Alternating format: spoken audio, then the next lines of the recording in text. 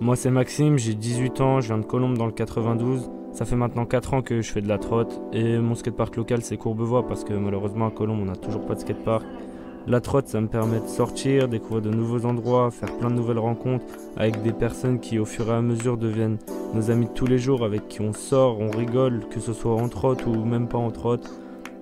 C'est une passion qui m'a permis de devenir ce que je suis aujourd'hui et ma vie en général s'est construite autour de la trotte que ce soit justement mes amis que j'ai rencontrés grâce à ça, ou même les souvenirs que j'aurai plus tard de nos sessions où on a rigolé, où on a fait n'importe quoi, les voyages aussi que j'ai fait, les compétitions que j'aurais jamais faites sans la trotte. J'ai développé une motivation que j'aurais jamais eu avant. Euh, que là, qu'il pleuve, qu'il neige, on trouve toujours le moyen de rouler, de se surpasser. Il y a des sessions, heureusement, où tout passe du premier coup et on s'amuse, c'est marrant et tout. Et malheureusement, il y en a aussi où je peux m'acharner pendant des heures sur un tricks, à m'arracher la peau, mais au final, c'est que du bonheur et, c'est aussi ça qu'on kiffe dans la trotte.